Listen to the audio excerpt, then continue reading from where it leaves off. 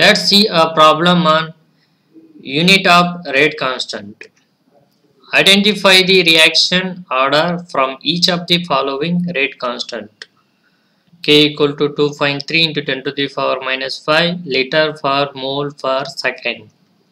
K equal to 2.3 into 10 to the power minus 5 per second.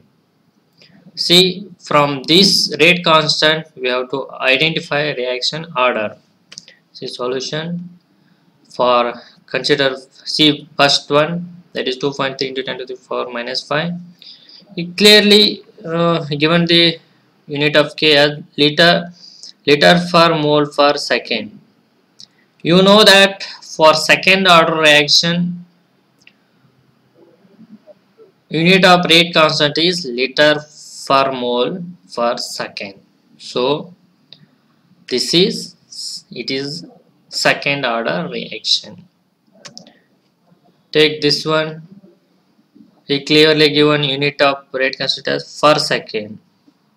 So for first order reaction unit of rate constant is per second. You know that. So it is first order reaction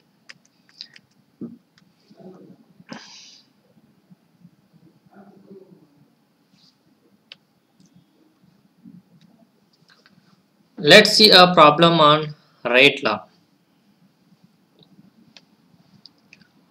The conversion of the molecules from X to Y follows second order reaction.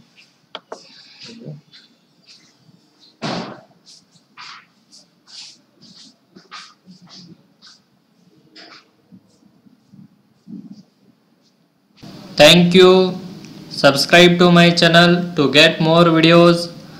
Like the video share the video and spread worldwide to help others